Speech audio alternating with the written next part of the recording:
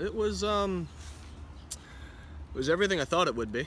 Um, you know, your whole life you've trained for that point to get there, and getting a little taste of it makes everything uh, validated that you've done to get there.